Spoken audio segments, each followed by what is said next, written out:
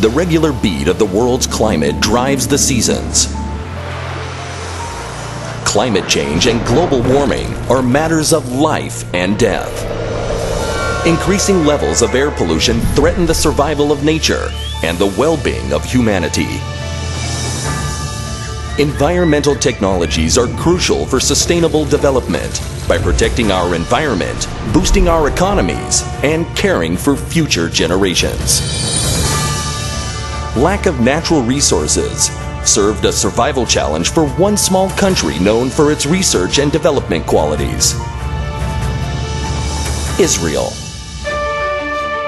Based on its accumulated experience, Israel is poised to play a major role in supplying the world with cutting-edge alternative environmental solutions. Despite its small size, Israel has diverse climatic regions, which served as fertile land for Israeli companies pioneering solar technologies that are used worldwide. Today, the world's largest solar power plants are Israeli made.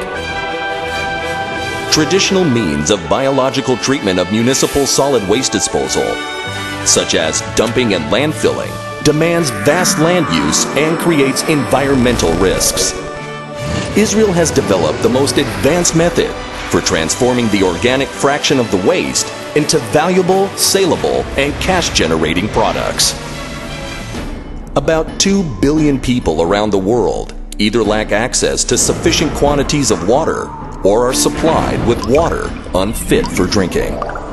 Israel is committed to the development of methods and tools to preserve water, one of the world's most precious resources. Israeli scientists developed pioneering methods for irrigation water saving, recycling and purifying municipal wastewater, and desalination of seawater. Close cooperation between government, industry, and R&D in the universities assures rapid commercial application of solutions to environmental problems.